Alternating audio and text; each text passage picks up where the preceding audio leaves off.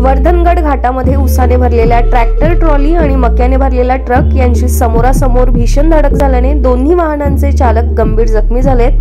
दोन्ही वाहन चालकांना साताऱ्याच्या शासकीय रुग्णालयात दाखल करण्यात आले. या घटनेची नोंद कोरेगाव पोलिसांच्या वतीने करण्यात आली. रामोशीवाडीजवळ वर्धनगड घाटाच्या पहिल्याच वळणावर कोरेगावकडून पुसेगावकडे जाणारी उसाची ट्रॅक्टर ट्रॉली आणि पुसेगावकडून कोरेगावकडे जाणारा मका भरलेला ट्रक. या दोन्ही वाहनांमध्ये समोरासमोर भीषण धडक झाली. ट्रक चालकाचा ताबा सुटल्याने तो ट्रॅक्टरवर जाऊन जोरदार धडकला. त्यामध्ये ट्रॅक्टर चालक गंभीर जखमी झालाय.